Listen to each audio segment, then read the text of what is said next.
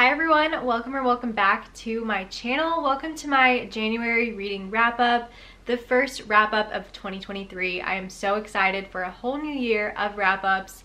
If you're new and you've never watched one of my wrap ups before, basically I'm just going to go through every book that I read over the course of the previous month.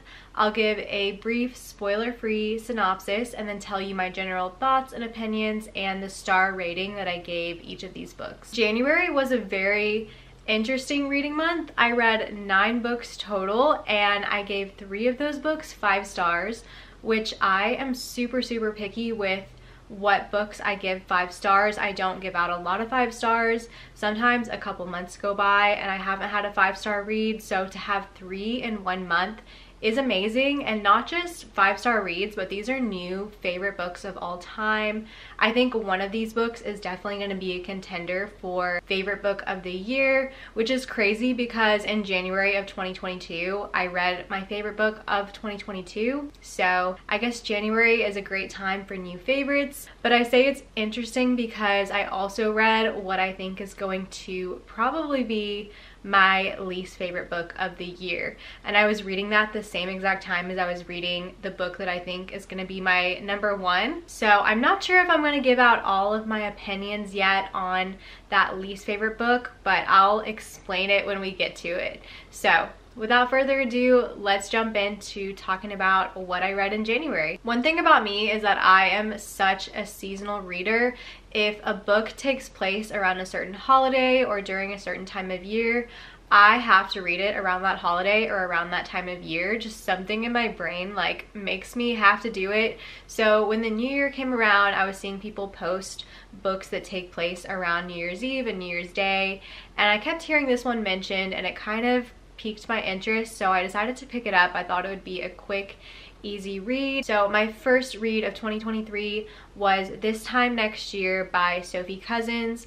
This book is following Minnie and Quinn and Minnie and Quinn were born in the same exact hospital on New Year's Day literally a minute apart from one another and fate kind of brings them together about 30 years later and you see that Minnie and Quinn have led very different lives even though they've grown up like 10 minutes away from each other they're very different people and have done very different things in their 30 years so a relationship kind of develops between the two of them but you see it kind of ebb and flow. And I ended up giving this book three stars. I feel like at some point that could maybe drop to a two and a half star. I really liked the premise of the book. This reminded me a lot of Oona Out of Order because we follow Minnie and Quinn over the course of many of their birthdays, which would be New Year's days. Just like Oona, she has her birthday on New Year's Day, but Minnie and Quinn don't age out of order like Oona. They age the normal sequential way. So we're just following them and seeing what their lives have been like through the course of these different New Years. This was one where I feel like it would have benefited more from being told in first person.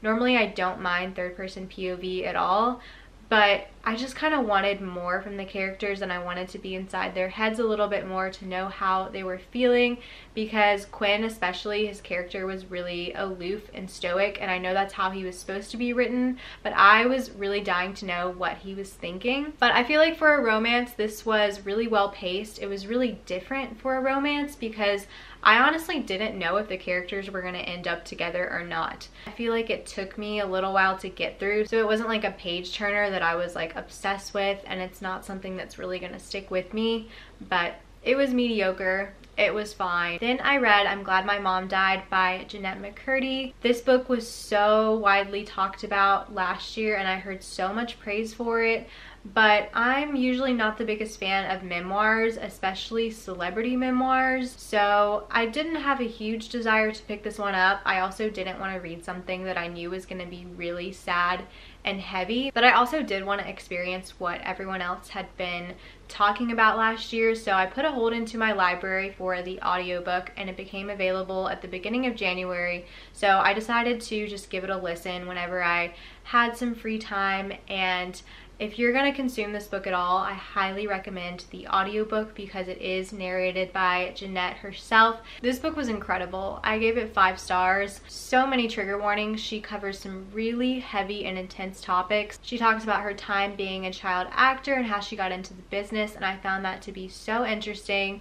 But the majority of the book does cover her relationship with her mother, which was an abusive relationship and I just found it to be so eye-opening and such an important story. And Jennette just told the story in such a captivating way. Although it was heartbreaking and heavy I feel like she mixed it in with her deadpan sense of humor. Jennette was so honest and open and vulnerable in this memoir. It honestly just felt like hearing a friend tell you their life story. And I was so captivated from the start. I thought I would be like the odd one out that wasn't really touched by this and I was kind of like afraid to read it but yeah I thought it was so well done it was so good and I hope Jennette writes more in the future because she really is an incredible writer. Then I switched it up and read Local Woman Missing by Mary Kubica. This is a thriller that's been on my physical TBR for a while now so I decided to give it a try.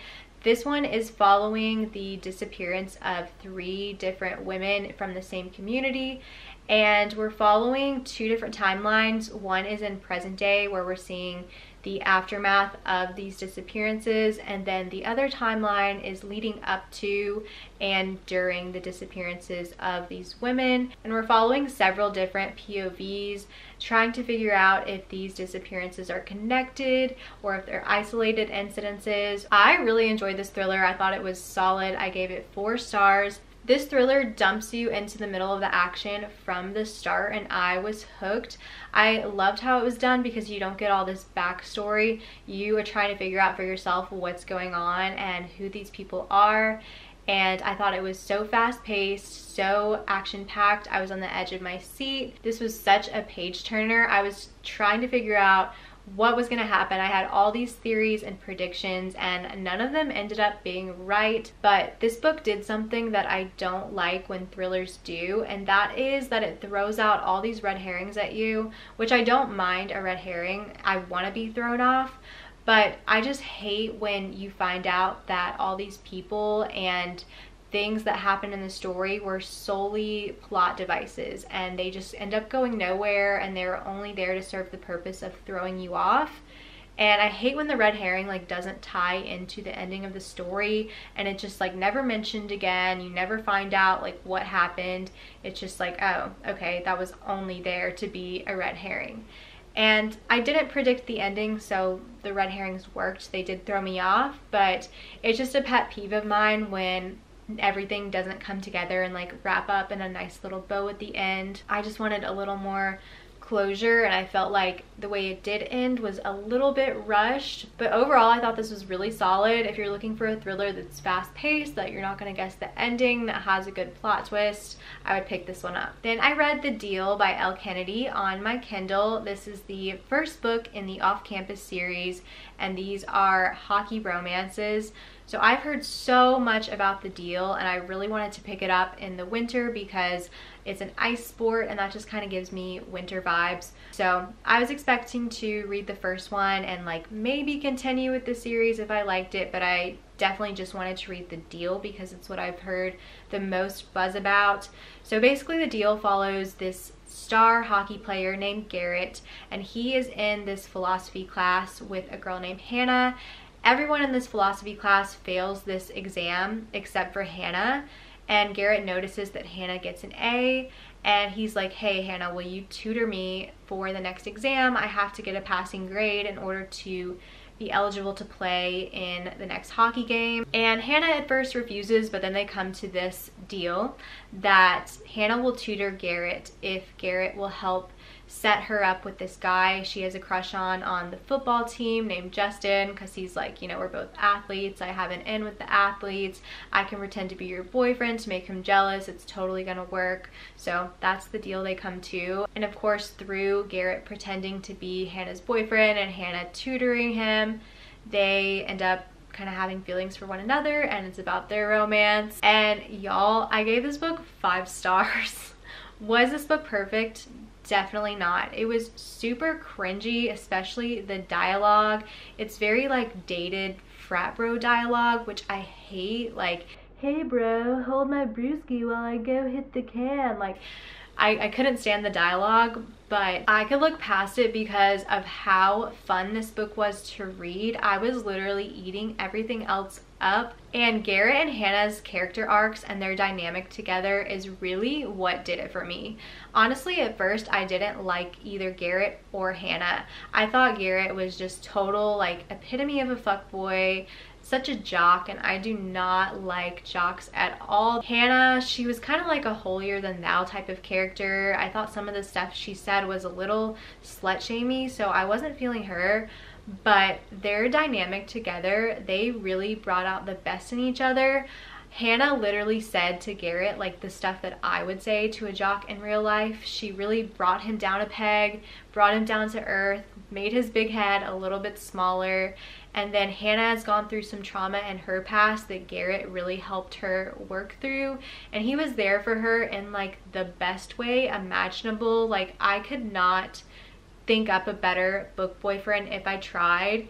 He is one of my new all-time favorites and just like their character arc like like I said at the beginning of the book I was not a fan of them and by the end I loved them so much. I was rooting for them so hard. I feel like this book was just the right amount of like having depth but being cheesy to where it was entertaining and fun but also like had some emotional heart to it if that makes sense I just loved it so much. I'm hooked on this series now. I'm obsessed with it. I'm now obsessed with hockey romances. I literally want to read all of them and it made me more into like wanting to try out sports romances too. So this one was a big one for me, a new favorite. I'm so happy and pleasantly surprised that I loved it as much as I did. Then I read Loath to Love You by Ali Hazelwood. This is the bind up of her three Steminist novellas all in one. This just came out a few weeks ago and I'm really glad I waited to read the bind up of the three novellas all together because they are interconnected and all the characters show up in each other's novellas, which I had no idea that was the case. So, like I said, I'm especially glad I waited to read them all in one go. So the first novella in this book is Under One Roof. It follows Mara and Liam and they end up having to be roommates and live in this one house together. And at first they can't stand each other, but it is a romance. So of course that changes over the course of the novella. I really enjoyed Under One Roof. It reminded me the most of The Love Hypothesis out of the three novellas. I feel like Mara really reminded me of Olive and Liam reminded me so much of Adam Carlsen. I feel like the tension in this was built up so well despite how short it was. I will say the ending was a little rushed and there was one thing that happened that I wanted more clarity on but overall I really enjoyed that one. The second novella was Stuck With You. This one is following Sadie and Eric. They both work in the same building for different companies, but their offices are like in the same building a few floors away from one another. So this one is a then and now timeline. In the present, they are stuck in an elevator together and you see that Sadie absolutely cannot stand Eric. So you're trying to figure out what he possibly did to make her so upset. And then in the past, you see that they went on a date together. So it's like, okay, something happened on their date that made her hate him. And this was my favorite of the novellas. I feel like this one took me the longest to get into and buy into their chemistry, but the payoff was worth it because I ended up really, really enjoying the story. I feel like it's the most different from anything Ali Hazelwood's ever written before. I would love to see her do a full-length novel with a then and now timeline because I thought it was done really, really well and I loved Sadie and Eric as characters and I loved their dynamic together. And then the third novella in this book was Below Zero, this was Hannah's story. She works for NASA and she ends up falling for another guy who works for NASA and she ends up going on this pretty risky project in Norway to kind of simulate what the conditions on Mars would be like. And this one was my least favorite of the three. I just didn't really care for the characters as much and the trope wasn't my favorite, but like I said, overall, I gave this four stars because I like how they all came together and I thought it was super cute. And I hear a lot of people criticize Ali Hazelwood for kind of writing the same book over and over, but I feel like these three novellas were all super distinct from one another. The characters and the plot lines all felt very different despite them each being about women in STEM. So I feel like this would be a good one to try if you're wanting to give her romances another chance. Then I jumped right back into the off-campus series. I just couldn't stay away. I couldn't stop thinking about this world and these characters and I wanted to follow another Hockey Boys romance. So the second book in the off-campus series is The Mistake. This one is following Logan and he ends up having a fling with this freshman girl named Grace and Logan ends up kind of doing something to hurt his relationship with Grace. So it's mostly about him pining and groveling, working his way back into Grace's good graces. And I really liked this one. My only critique with it is that it was cringe and I would have liked to hear more of Grace's backstory, but I ended up giving this one four and a half stars. I didn't like Logan and Grace quite as much as I liked Garrett and Hannah, but I still was obsessed with it and I love the series. Like I cannot wait to read the next book next month. I think I'm most excited for book three, which is The Score because it's Dean's story and I feel like it's gonna be perfection based on what we've seen from Dean so far. Okay guys, the next book I read, I literally finished this last night. Tomorrow and Tomorrow and Tomorrow by Gabrielle Zevin. This one is following Sadie and Sam. They meet when they are children in this hospital gaming room and they bond over their love of video games, but they end up having this big falling out and they don't talk for quite a few years. They are from California, but then they end up reconnecting in Massachusetts because they both happen to go to college there. Sam is at Harvard and Sadie is at MIT and they end up coming together, becoming friends again, and collaborating to work on what ends up becoming one of the most successful video game empires of all time. First and foremost, I have to say, even if you don't like video games, if you know nothing about video games whatsoever, you will still like this book because I don't like video games. I don't know anything about them. I feel like this is more a story exploring these characters and it's a story about relationships, all kind of relationships, platonic relationships, romantic relationships, familial relationships, and literally everything in between. I gave this book five stars. It was perfect in every way to me. I feel like this is definitely going to be a contender for favorite book of the year. I thought this was so incredible. It reminded me of normal people in a way because Sadie and Sam can be very frustrating characters with all kinds of miscommunications and you see them come together and go apart frequently throughout the novel. This book to me kind of felt like if you mixed normal people with the social network. That's like the best way I can describe it. It's definitely different from that. If you think along those lines, that's kind of the vibe of this book. I feel like this book was so beautifully and effortlessly written. It's told in third person, but I feel like we get everyone's perspective the perfect amount. Like there was never a time where I was like, oh, I want to hear more from Sam or less from Sam or more from Sadie or less from Sadie. It just weaved in and out of all their perspectives the perfect amount of times and these non-linear timelines just came in at the perfect times. I feel like we would be told something that happens in the future at the perfect time and then there would be times where we'd get these really cool anecdotes that would be like a backstory that told us the perfect amount of information we needed to know to understand what was going on. It was just so perfect to me. Like it was perfectly paced. The characters were incredible. The storyline was intriguing. Even though I don't like video games, like I said, I was so interested in them creating this game and so invested in their lives and wanting to know what was going to happen with them. This book did take me a little bit to get into. I feel like by the 20% mark, I was like finally hooked. And then by the 30% mark, I remember thinking like, I could close the book now. This book could end now and it would still be five stars to me. Like that's how quickly the pace picked up for me and how quickly I got invested. I will say I don't think that's the case for everyone though because people in my book club were saying that it did take them like 50% of the way to get through but then they were hooked and invested but they definitely thought it was more of a slow burn than I did. But either way, just give this book a chance if you're not getting into it at first and you want to pick it up. The whole time I was reading this, I was picturing it as a movie so vividly and like the kind of movie that would win Best Picture at the Oscars. Like that's the level of how good I thought this book was. This is definitely a contender for favorite of the year and definitely a favorite of all time now. I thought this was so incredible. It made me feel every emotion. It was so, so good. You gotta read it. Okay, and then the last two books I read in January are the first two books in the Dreamland Billionaires trilogy, The Fine Print and Terms and Conditions by Lauren Asher. These books are about these three grandsons who are basically the grandsons of this guy who you could compare to being like Walt Disney. And they run these theme parks that are essentially like Disney World.